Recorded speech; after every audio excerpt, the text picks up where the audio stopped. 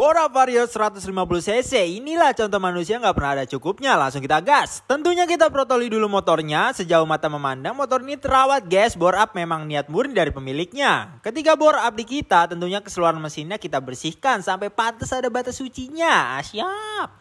Setelah dilakukan pembersihan, kita porting headnya supaya jalur pembakaran meningkat performanya. Tidak lupa kita finishing dengan amplas. Dan ini dia hasilnya, sudah semulus Lisa Blackpink, jos ngeng. Lanjut kita skir klepnya supaya tidak ada kebocoran kompresi dan ini dia hasilnya. Noken kita gunakan Noken BRT T2, per klep menggunakan RX7, blok kita gunakan BRT 62 mili. Saat sesuatu langsung kita pasang aja guys. TB menggunakan BRT 32 mili, injektor menggunakan RX7 170 cc, Velocity menggunakan RX7. Langsung kita pasang dan kita finishing dengan scan ecu. Kita test drive, nggak boleh ngebut-ngebut karena butuh Ryan. Terima kasih sudah menonton detail di YouTube. Thank you.